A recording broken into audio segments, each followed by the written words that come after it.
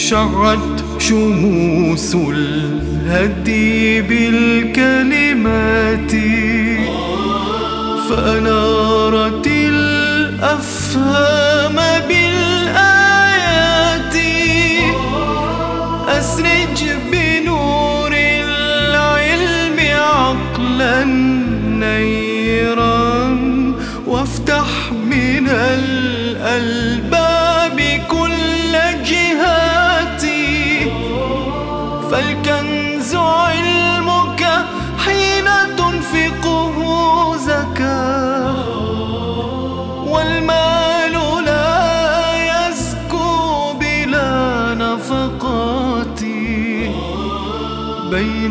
الظلام وبين نور مشرق. هدي ينير الدرب بالومضات. بسم الله الرحمن الرحيم. الحمد لله رب العالمين.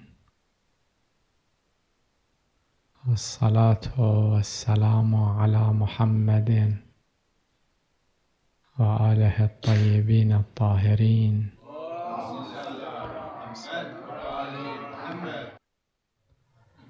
ولعنة الله على أعدائهم أجمعين إلى يوم الدين.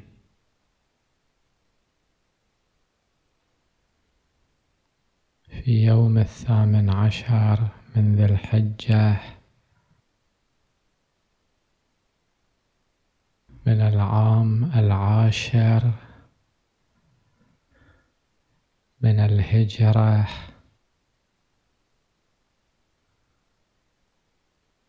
وعلى مشهد من عشرات الآلاف من المسلمين.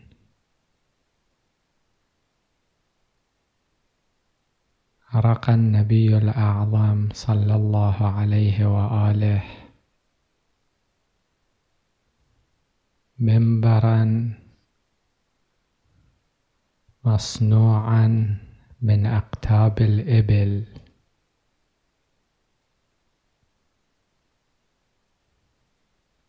وأخذ بكف أمير المؤمنين. علي بن أبي طالب صلوات الله وسلامه عليه ليقول من كنت مولاه فعلي مولاه. اللهم وال من والاه وعاد من عاداه.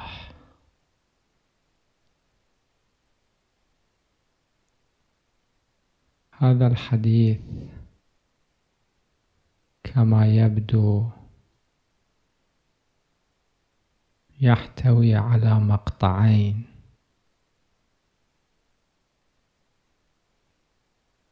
المقطع الأول يتعلق أولا وبالذات بالعقيدة.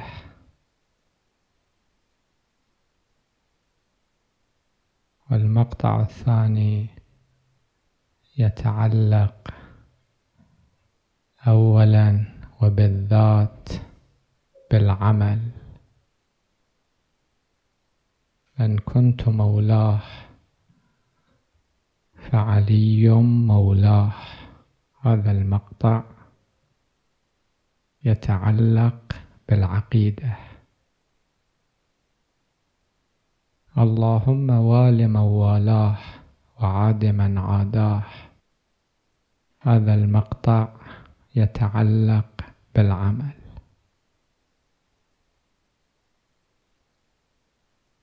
وقبل أن نتحدث على نحو الإجمال حول هذين المقطعين. لا بأس أن نشير إشارة عابرة إلى سند هذا الحديث.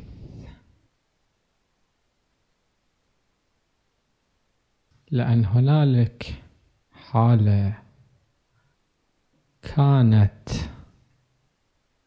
من القديم عند بعض الأفراد.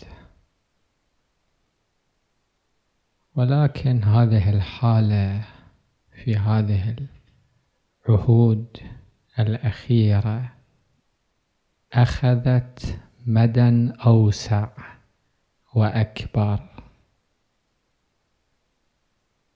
وهذه الحالة هي حالة محاولة إلغاء كل حديث يتعلق بعلي بن أبي طالب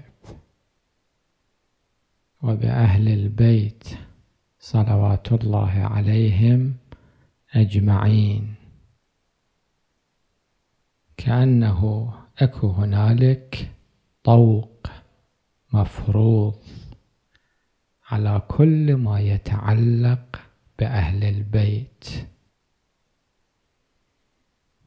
فهنالك حالة تشكيك في جميع الأحاديث في كثير من الأحاديث المأثورة. هنالك أحد العلماء المحققين وله موقع كبير في الدائرة الأخرى.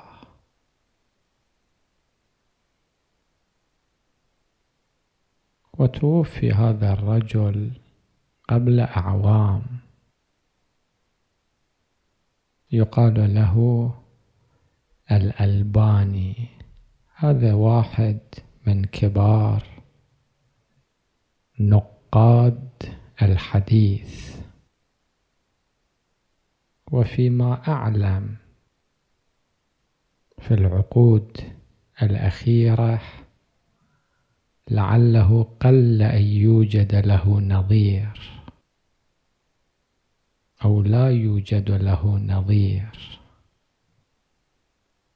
في الدراية بأحاديث الآخرين.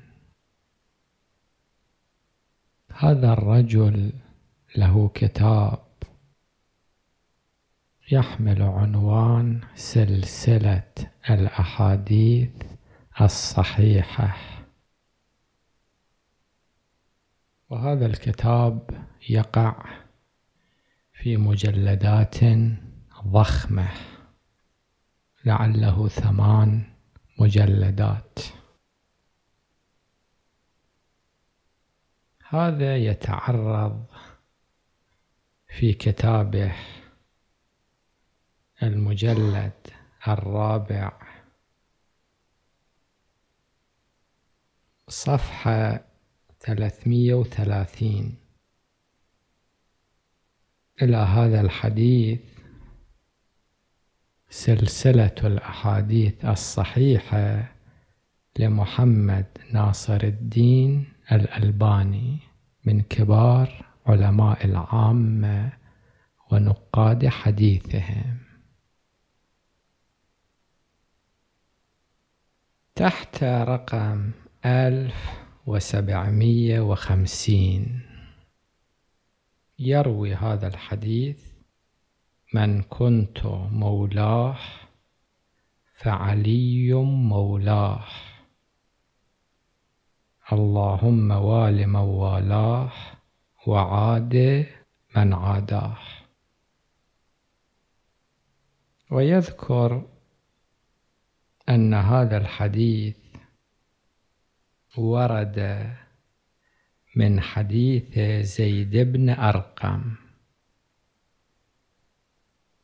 وسعد بن أبي وقاص. وبريدة ابن الحصيب. وعلي بن أبي طالب. صلوات الله عليه.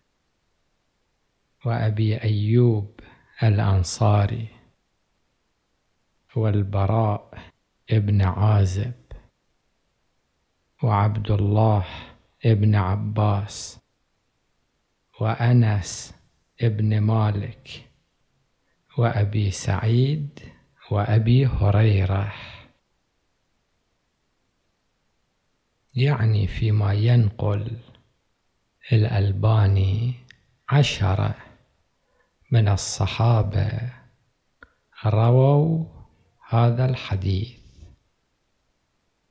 بهذا النص من كنت مولاه فعلي مولاه اللهم وال من والاه وعاد من عاداه.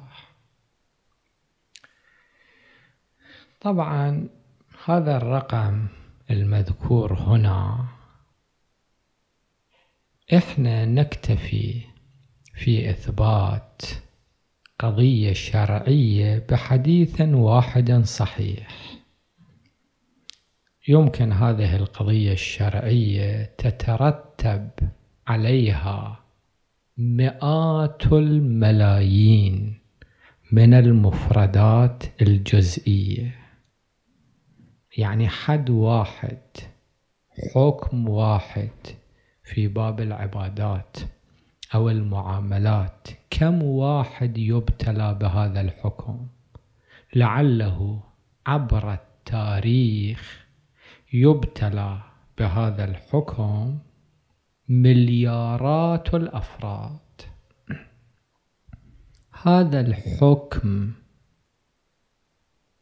الذي يحتوي على هذه المفردات التي لا تعد. إحنا نثبت بحديث صحيح واحد. فكيف إذا كان عشرة من صحابة رسول الله صلى الله عليه وآله وفيهم علي بن أبي طالب صلوات الله عليه وفيهم غيره رووا هذا الحديث بطرق صحيحة. طبعا هذا الرقم الذي يذكره هنا رقم متواضع بالنسبة إلى الواقع. أن تراجعوا الغدير العلامة الأميني رحمه الله في كتاب الغدير ينقل أن مية وعشرة من الصحابة. هنا ينقل عشرة. ولكن العلامة الأميني ينقل أن مئة وعشرة من الصحابة بما فيهم أبو بكر وبما فيهم عمر بن الخطاب وبما فيهم عثمان بن عفان وبما فيهم عائشة بنت أبي بكر. هؤلاء جميعا رووا هذا الحديث.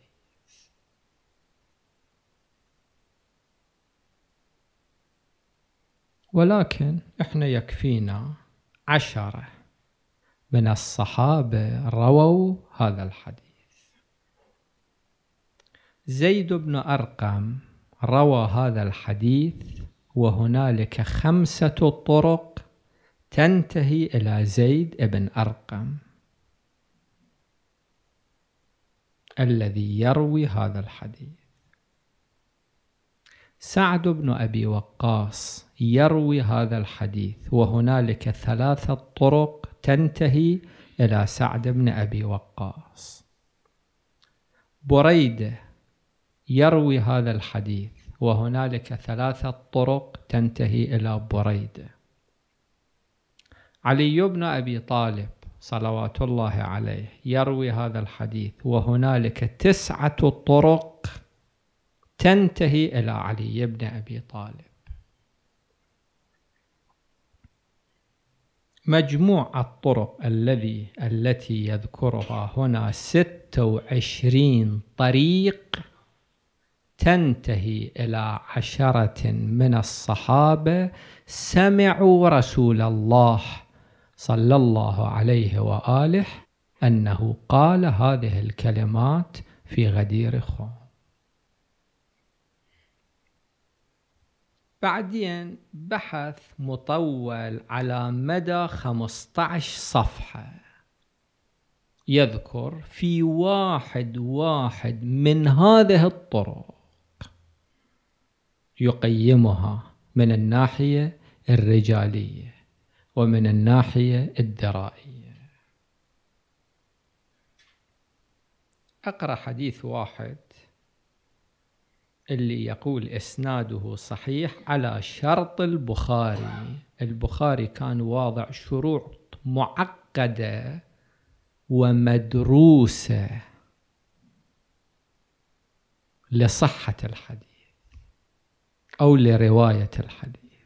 شروط معقدة ومدروسة.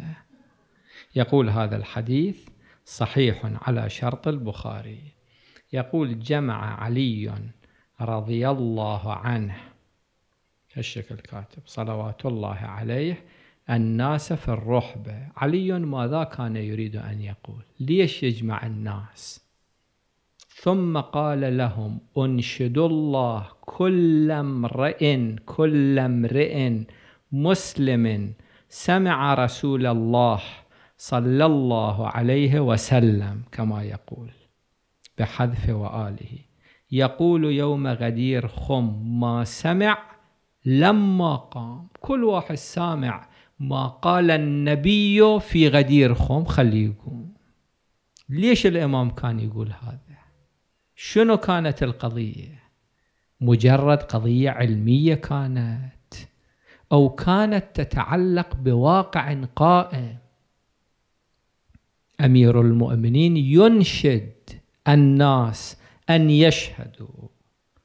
فقام ثلاثون من الناس ثلاثين واحد.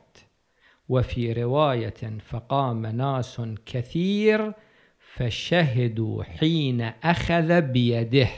يعني أخذ النبي بيد علي بن أبي طالب صلوات الله عليه. فقال للناس دققوا هذا حديث صحيح على شرط البخاري. فقال للناس أتعلمون أني أولى بالمؤمنين من أنفسهم؟ النبي أولى بالمؤمنين من أنفسهم. النبي كأنه دا يشوف مو كأنه حتما دا يشوف. يشوف المستقبل يشوف محاولات التشكيك والإنكار والمكابرة. يقول هذه المقدمة يمهد هذه المقدمة. ما هو موقعي فيكم؟ أتعلمون أني أولى بالمؤمنين من أم من أنفسهم؟ قالوا نعم يا رسول الله. قال من كنت مولاه فهذا مولاه. اللهم وال من والاه وعاد من عاداه. عجيب تتمة الرواية. قال فخرجت وكأن في نفسي شيئا كأنه مو كافي لهذا المقدار. علي بن أبي طالب نفس رسول الله وثلاثين واحد يشهدون يقرون بذلك. ولكن مع ذلك هذا الراوي يقول في نفسي شيء. أكو ماكو. فلقيت زيد بن أرقم فقلت له إني سمعت عليا يقول كذا وكذا. يعني صحيح؟ كلام علي بن أبي طالب. قال فما تنكر. قد سمعت رسول الله صلى الله عليه وسلم. كما كاتب هنا الصلاة البتراء يقول ذلك لا هذا الحديث صحيح قلت الألباني يقول وإسناده صحيح على شرط البخاري. إذا فقط هذا الحديث كان عندنا هو هذا كان كافينا في صحة هذا الحديث. بعد ما يحتاج إلى 15 صفحة بعد. بعدين ينقل حديث يقول حديثه حسن صحيح.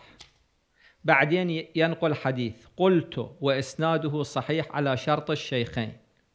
بعدين ينقل حديث. يقول وقال الحاكم صحيح على شرط الشيخين. بعدين ينقل حديث. يقول أخرجه الطبراني ورجاله ثقات. بعدين يخرج حديث. يقول قلت وإسناده صحيح. بعدين يخرج حديث يقول رجاله رجاله رجال ثقات رجال البخاري كلهم رجال البخاري الموجودون الذين يروي عنهم البخاري غير أيمن وهو ثقة. فإذا كلهم ثقات. قلت وهذا إسناد صحيح على شرط الشيخين. في حديث آخر يقول ورجاله ثقات. في حديث آخر يقول قلت وهو صحيح بمجموع الطريقين عنه في حديث آخر يقول قلت وهذا إسناد جيد رجاله ثقات. بعدين يختم الكلام يقول وللحديث طرق أخرى كثيرة. كم طريق ذكر هنا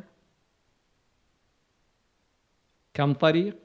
ستة وعشرين طريق تنتهي إلى عشرة من صحابة رسول الله صلى الله عليه وآله. جمع طائفة كبيرة منها الهيثمي في المجمع وقد ذكرت وخرجت ما تيسر لي منها مما يقطع الواقف عليها بعد تحقيق الكلام على أسانيدها بصحة الحديث يقينا. هذا مو واحد شيعي. هذا واحد من علماء العام. وإلا فهي كثيرة جدا. وقد استوعبها ابن عقدة في كتاب مفرد. ابن عقدة كاتب كتاب مستقل في حديث الغدير. بعض العلماء كتبوا كتابا في الكتب المؤلفة حول حديث الغدير. كتاب مستقل.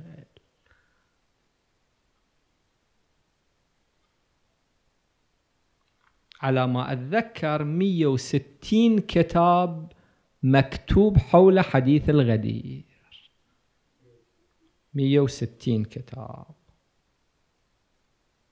قال الحافظ ابن حجر منها صحاح ومنها حسان. وجملة القول إن حديث الترجمة يعني هذا الحديث اللي دان ترجم إليه حديث صحيح بشطريه. الشطر الأول من كنت مولاه فعلي مولاه. الشطر الثاني اللهم وال موالاه وعاد من عاداه بل الأول منه متواتر عنه صلى الله عليه وسلم. إحنا نضيف آله كما يظهر لمن تتبع أسانيده وطرقه وما ذكرت منها كفاية.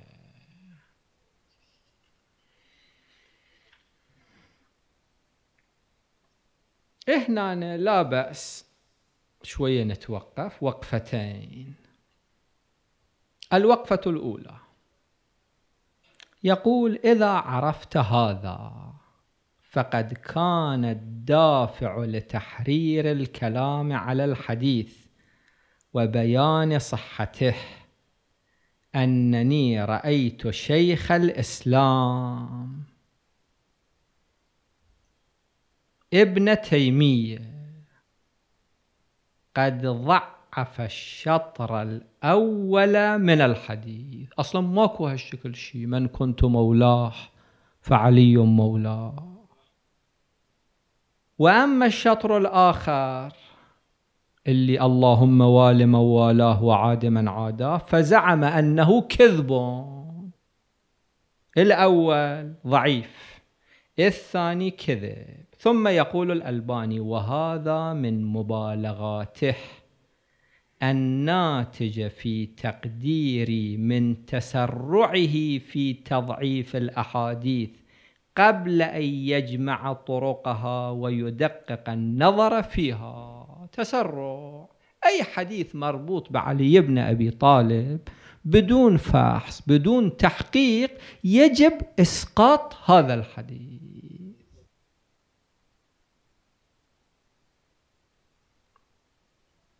مع هذه الطرق الكثيرة المتواترة الصحيحة الحسنة. هل هذا تسرع أو يعبر عن حالة معينة؟ أكو فد حالة ضد علي بن أبي طالب عند بعض الأفراد. كأنه علي بن أبي طالب صلوات الله عليه فد رجل غريب. في البخاري علي بن أبي طالب وجود مائلة نقلت لكم يمكن ثلاثين حديث ينقل عن علي بن أبي طالب. هذا الملازم لرسول الله صلى الله عليه وآله. حوالي ثلاثين حديث لو تسعة وعشرين حديث. علي بن أبي طالب كان حكم مدة من الناحية الظاهرية. يجب أن تنقل عنه ألوف الأحاديث. الإمام أمير المؤمنين صلوات الله عليه له خطبة على ما أتذكر ابتدأت من بعد صلاة الفجر أو من طلوع الشمس إلى قريب الظهر. تسعة وثلاثين تسعة وعشرين حديث ثلاثين حديث. كأنه محاولة لإخراج إلغاء أهل البيت صلوات الله عليه. من الحديث من التاريخ من التفسير من الفضائيات من الراديوات من التلفزيونات من الجرايد من المجلات. من البيت من المجتمع. إلغاء. علي بن أبي طالب على الأقل هو الخليفة الرابع.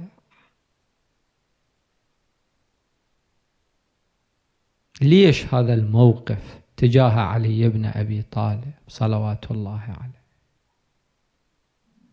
طبعا القضايا هواي كثيرة. الكلمات التي قيلت واحد أحيانا يشعر بالتحرج من نقل هذه الكلمات حول من هو نفس رسول الله صلى الله عليه وآله.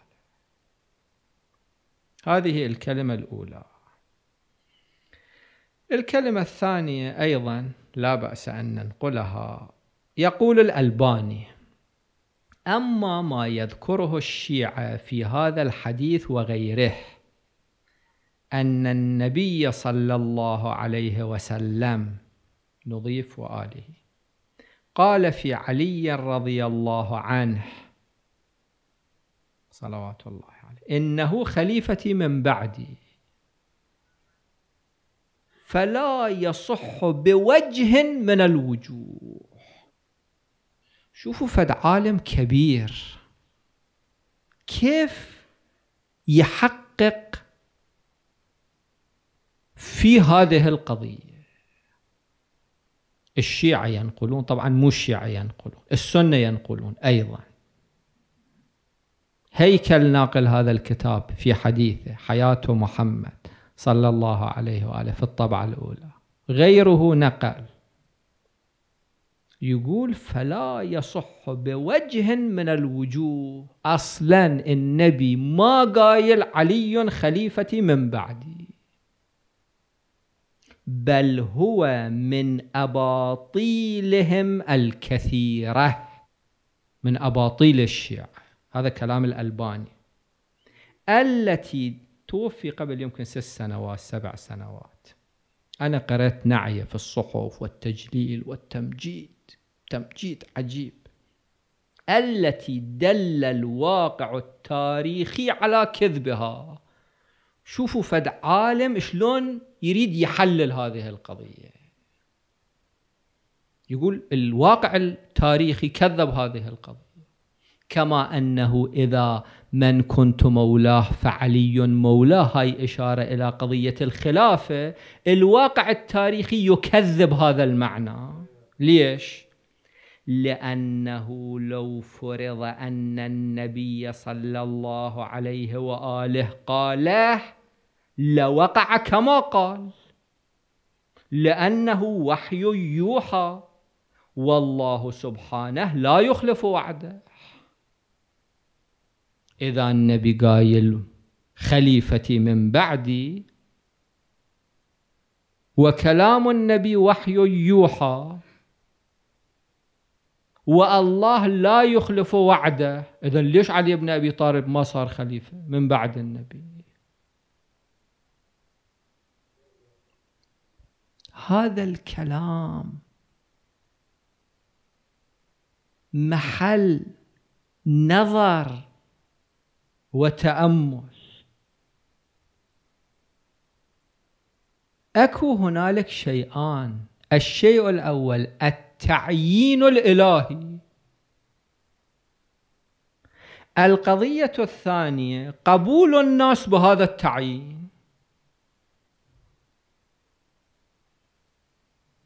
هاتان قضيتان منفصلتان. قد يتحقق التعيين الإلهي لفرد ولكن الناس لا يقبلون هذا الفرد. عدم قبول الناس لفرد يدل على أن الله لم يعينه.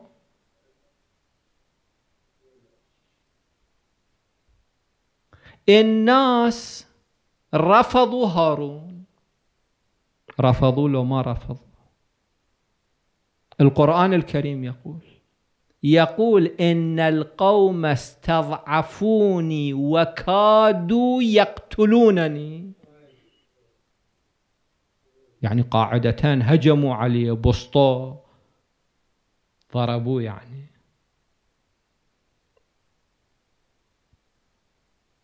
إذا إذا الناس ما قبلوا إذا هارون مو خليفة موسى. هذا منطق؟ إن موسى عين هارون قال وقال موسى لأخيه هارون اخلفني في قومي أنت خليفتي وكلام النبي كلام الله. الناس رفضوا ذلك. إذا هارون مو خليفة الواقع التاريخي يكذب خلافة هارون لأن الناس ضربوه وعزلوه. هذا منطق. إذا واحد قال هذا المنطق شنو جوابكم؟ التعيين الإلهي شيء. وقبول الناس لهذا التعيين شيء آخر. بعدين الكل يعرفون كل المطلعين أن الله سبحانه وتعالى له إرادتان إرادة تكوينية وإرادة تشريعية. إرادة الله التكوينية لا تتخلف عن مراده. الله سبحانه وتعالى يريد بالإرادة التكوينية التي تتعلق بالأشياء أن الشمس غدا تطلع من المشرق هل إرادة الله التكوينية تتخلف عن مراده؟ لا. إنما أمره إذا أراد شيئا أن يقول له كن فيكون. هاي أي إرادة؟ إرادة تكوينية. الله تعالى له إرادة ثانية يعبر عنها بالإرادة التشريعية في القرآن. أكو. أن الله يريد أن يطهركم. الإرادة التشريعية لا تتعلق بالفعل مباشرة. يعني الله تعالى عندما يقول أقيموا الصلاة إرادته لا تتعلق بالفعل حتى يقع الفعل مباشرة وإنما إرادته تتعلق بوقوع الفعل عن اختيار المكلف عن ارادته هاي الإرادة التشريعية. يعني الله سبحانه وتعالى يريد أن يقع الحاج أو الصوم أو الصلاة أو ما أشبه ذلك بإرادتك. فإذا لم ترد ذلك إرادة الله التشريعية لم تتحقق. الله عندما يعبر في بعض الآيات أن الله تعالى يريد أن يطهركم هاي أي إرادة؟ إذا واحد أشكل أنه التطهير لم يقع الجواب هذا التطهير مراد بالإرادة التشريعية مو بالإرادة التكوينية.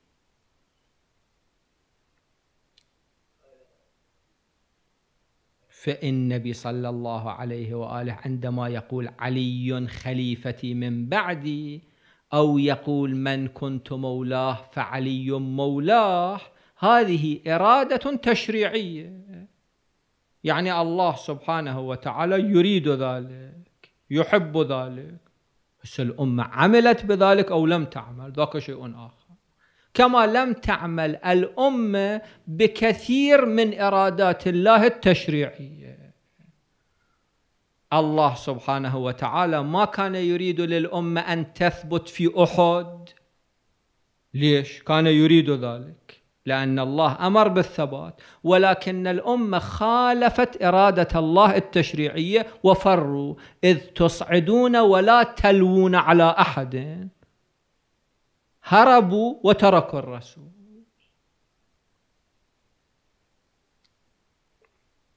فهذا الكلام كلام منظور فيه. يقول بل هو من أباطيلهم الكثيرة التي دل الواقع التاريخي على كذبها لأنه لو فرض أن النبي صلى الله عليه وآله وآله مني قاله لوقع كما قال لأنه وحي يوحى والله سبحانه لا يخلف الميعاد.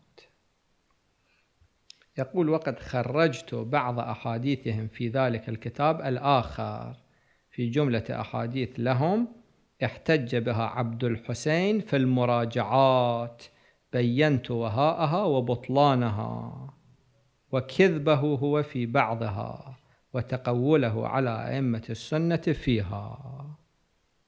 طبعا كتبوا كتاب رد المراجعات ثم بعد ذلك جمعوا هذا الكتاب لأن كل واحد كان يقرأ المتن متن المراجعات بعدين يقرأ الرد يقتنع بالمتن ولا يقتنع بالرد فجمعوه من الأسواق.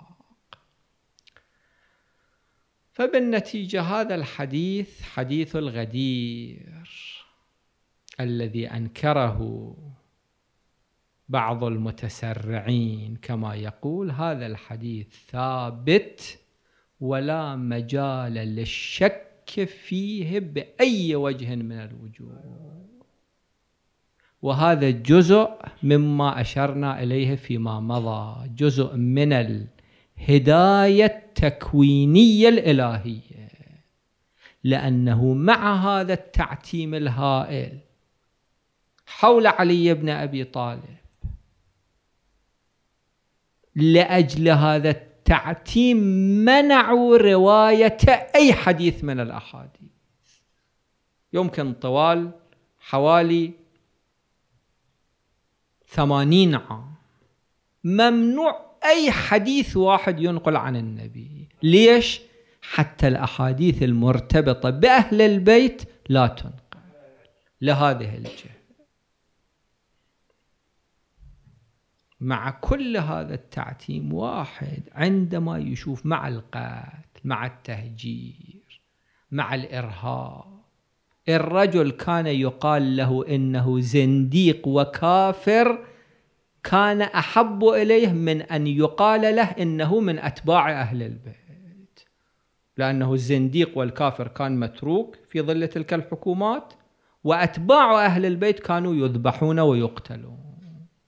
مع كل هذا الجو مع كل هذا الإرهاب وصل إلينا من الأحاديث حول أهل البيت ما ملأ الخافقين. إن شاء الله نتم الحديث في مبحث آخر. وصلى الله على محمد وآله الطاهرين. شعت شموس الهدي بالكلمات فأنارت أفهم بالآيات أسرج